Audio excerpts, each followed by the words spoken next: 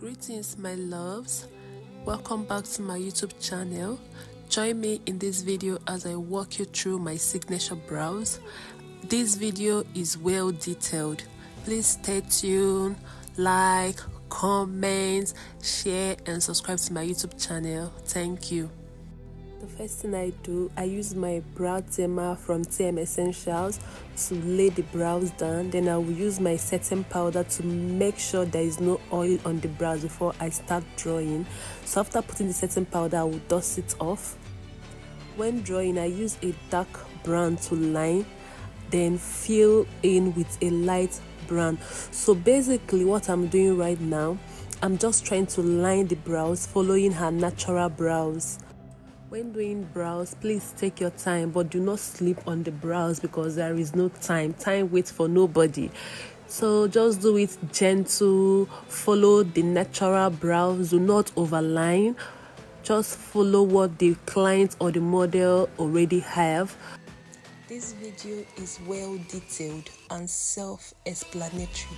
So, in case you are confused in any form, please do not hesitate to leave your question in the comment section.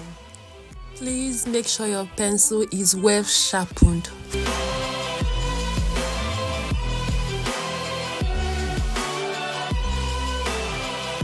Right now i'm filling it in with a light brown. So what i'm doing is that i'm following her natural hairline stroke and i'm only filling where there is no hair. Because if you feel where there is hair the the brows will look too too thick and you won't like the end result. And when you are filling your brows do it light handed do not apply pressure so that it will still look natural. Thank you. After filling in, I use mascara wand. That's spoolie to brush it up. My camera woman did not capture that.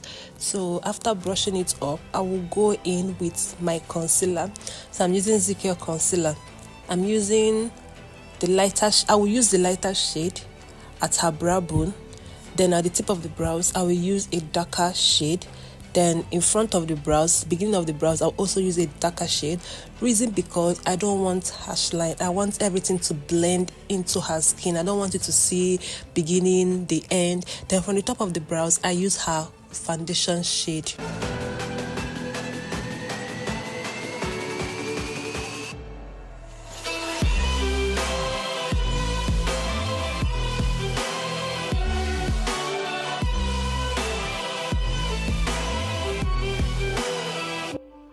time to blend you will be needing or you need to use a fluffy brush to blend very well. You can also use a what they call a beauty blender small one to blend. Then why why working on the brows not pack concealer? Because when you do that when your client or your model is on the sun the concealer will start melting and you won't like the end result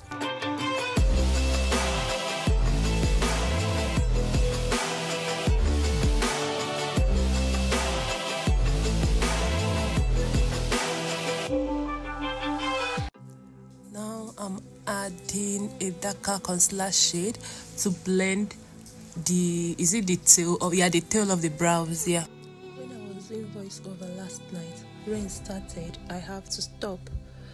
This morning again i'm doing my voiceover and it's raining like